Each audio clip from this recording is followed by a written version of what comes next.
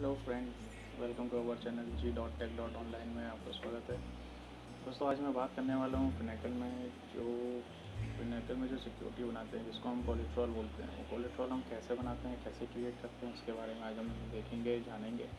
थोड़ा सा एक शॉर्ट वीडियो बनाया है मैंने तो आपकी हेल्प के लिए, जहाँ तक आपको हेल्प मैं दे सकूँ, मेरा यही एक मोटो रहता है। तो चलिए देखते हैं स्टार्ट करते हैं। सबसे पहले कि हमारा सिक्योरिटी कैसे क्रिएट होती है?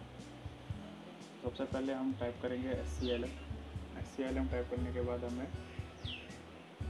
फ़ंक्शन में सेलेक्ट करना है लॉज लॉज सेलेक्ट करके हमें टाइप में आना है. टाइप में हमें किस टाइप की हमें सिक्योरिटी बना रहे हैं? इन्वेंट्री तो वैसे मैं इन्वेंट्री की बनाना चाह रहा हूँ? तो इन्वेंट्री में डाल के हम गो पे क्लिक करेंगे और हमें जनरल टाइप फिल करनी होती है. सबसे पहले हमें जनरल टाइप को फिल करनी होती है. उसमें हमें कोलेट्रॉल कोड लेना होता है, कोलेट्रॉल कोड हमारा इन्वेंट्री है, हमने इन्वेंट्री ले लिया है।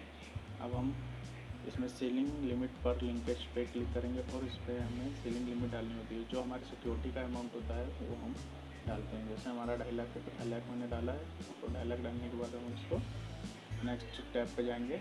नेट वैल्यू नेट वैल्यू में भी हम सेम अमाउंट रखते हैं, क्योंकि हमारा जो नेट वैल्यू होती है, वो यही होती है, जो सीलिंग पर लिमिट है। तो हम इसमें दो लाख पचास हज़ार रुपये डाल दिया है और अब हमें इसकी रिव्यू डेट डालनी होती है। तो रिव्यू डेट के लिए हमारी रिव्यू डेट वो होती है जब हमारा, मान लीजिए छः महीने बाद स्टॉक रिन्यूअल हो रहा है या एक साल बाद हो रहा है तो हम उसकी वो डेट डालते हैं। तो एक साल की एक दिन पहले की डाली जाती है सेम मंथ में तो मैंने डाल दिया है यहाँ पे। अब हम उसके बाद यहाँ पे सी आई एफ़ आई डी होती है।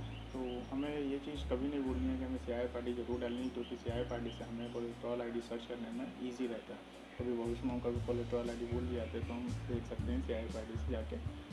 तो हम यहाँ पे सी आई एफ़ आई डी डाल देंगे और इसके बाद फ्रिक्वेंसी सेट कर देंगे मंथली जिस हिसाब से रिन्यूअल होता है हमारा। तो रिन्यूअल की हम मंथ सेलेक्ट करेंगे डेट सेलेक्ट करेंगे और हॉलीडे में नेक्स्ट डे या प्रीवियस डे जो आपको सुटेबल लगे वो आप ले सकते हैं और फिर सबमिट करेंगे और हमारा कोलेट्रॉल आई डी जनरेट हो जाएगा। मतलब हमारी सिक्योरिटी जनरेट हो जाएगी। कोलेट्रॉल आई डी तो जनरेट हो गई, अब हम इसको वेरीफाई भी करेंगे। वेरीफाई करने के पहले मैं आपको एक चीज़ बता देना चाहता हूँ कि हर लोन सी सी ओ टी और जो आपका क्रेडिट लिमिट के जो कोई अकाउंट होते हैं, कई जगह पे वहाँ पे सिक्योरिटी यूज़ होती है।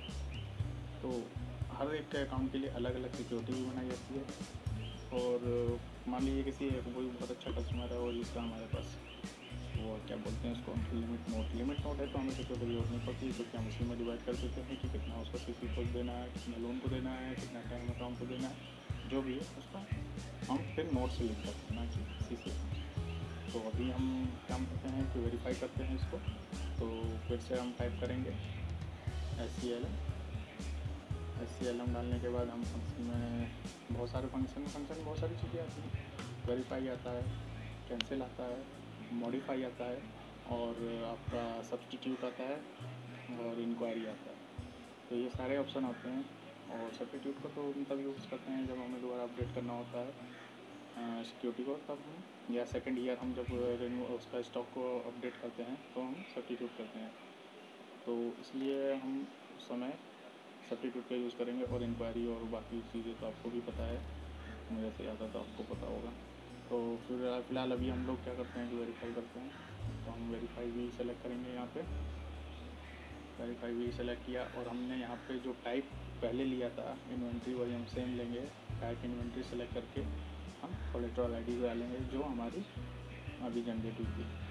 तो हम यहाँ पे सेलेक्ट कर लेते हैं इन्वेंट्री टी और कोलेट्रॉल आई डी देन आई में हम अपना जो हमने नोट किया हुआ था तो हम ट्रिपल सिक्स करके जो आई आई थी हमारी triple six seven four one seven अब हम गो करेंगे।